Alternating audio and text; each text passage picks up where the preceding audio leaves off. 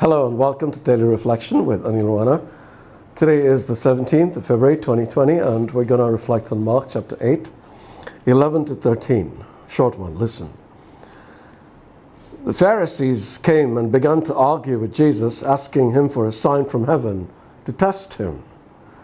And Jesus sighed deeply in his spirit and said, Why does this generation ask for a sign? Truly I tell you, no sign will be given to this generation. And he left them, and getting into the boat again, he went across to the other side. The Gospel of the Lord. If the Pharisees weren't so badly motivated, we might almost sympathize with them. After all, we too look for signs.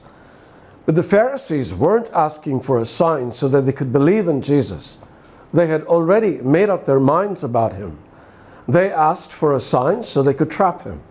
If he worked a miracle, they could accuse him of blasphemy. If he didn't, they could accuse him of being a false prophet.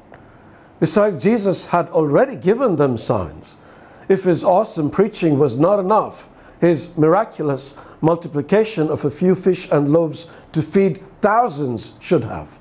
But as I already said, they weren't looking to believe, they were looking to condemn, and no matter what Jesus did, nothing would have changed their minds about him.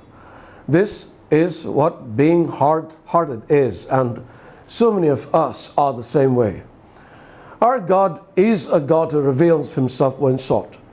I often tell people who are confused about the existence of God or unsure about which one he is in a pantheon of gods to tell him to show himself because I know he does. Not only have I seen the truth of this in my life, I've seen thousands of people experience him when they open their hearts to the truth of his reality. The key to this is truly seeking Him with an open heart. However, many don't want to believe in the existence of God because it results in a change of mind.